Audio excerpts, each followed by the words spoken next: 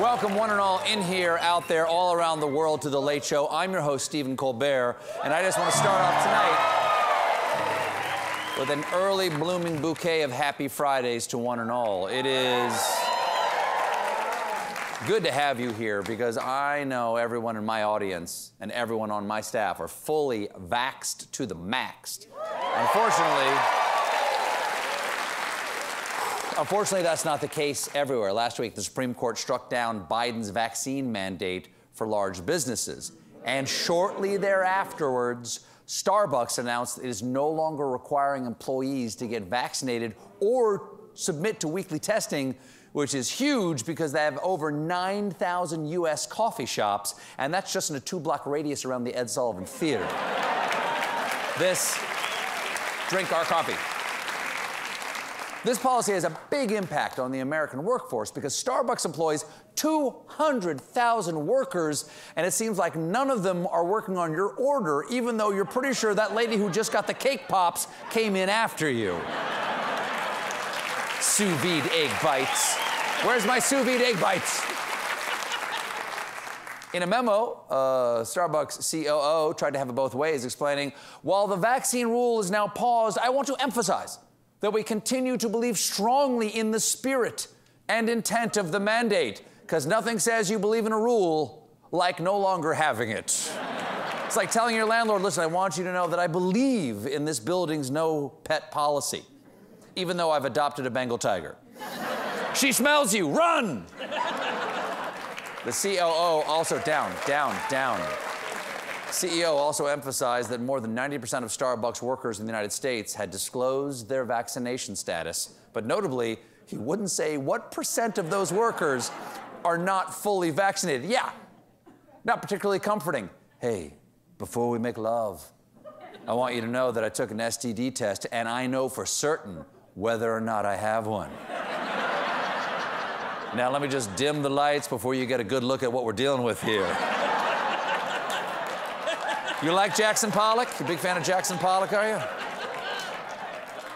We here at the Columbia Broadcasting Syndicate want you to know that The Late Show is not only safe, it's 100% free, five days a week. How do we do it? Now, unfortunately, not every entertainment platform is quite so generous to its people. This week, it was announced that Netflix is raising their prices. And if you're concerned about what that means for the Netflix account that you use, don't worry. That's your ex boyfriend's mom's problem. With the, she's very nice. Very nice. Everybody country all over the place. With the new prices, the cost for their most expensive premium plan increased $2 to $19.99 a month. For comparison, Hulu costs $12.99 Disney Plus costs $7.99, and Crackle's plan is still, we'll pay you, for God's sake, just tell people we're still here. and whatever it costs to get Paramount Plus, it's worth it. Paramount Plus, a mountain of contractually obligated plugs. now, make it so. There's big news in uh, NFTs, and for those of you who are wondering what an NFT is, look it up and tell me, because uh, I don't get it, even though it's been explained to me many times, one time by me. well, whatever they are, it was just announced that New York's first NFT restaurant is coming soon. The restaurant, which is called Flyfish Club, doesn't have a location yet, but the founders have announced that the menu is seafood inspired. So, goldfish crackers?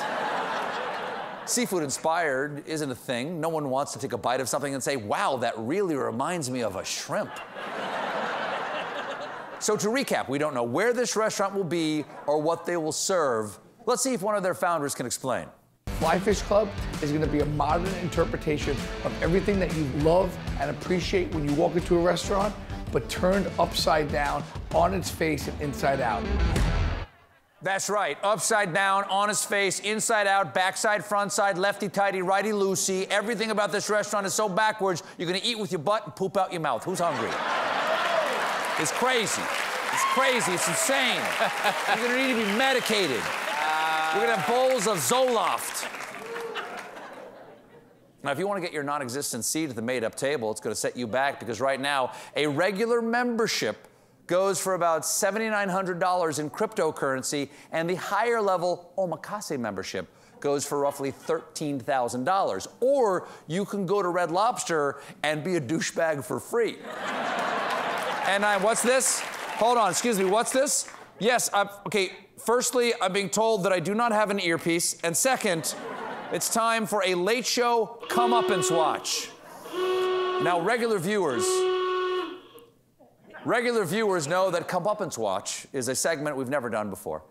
In it, we outline powerful men who are on the verge of getting their comeuppance. And tonight, we're very close to discovering the identities of some of the friends of billionaire sexual predator and all around horrible former human being, Jeffrey Epstein. Last month, Epstein's former accomplice, Ghislaine, Ghislaine, Ghislaine, prisoner number 405, was found guilty of five federal charges and is facing 65 years in jail. And even though the names of Epstein's pals were sealed in a previous case, Maxwell's lawyers say she will no longer fight to keep the names of eight John Does a secret, which means, which means,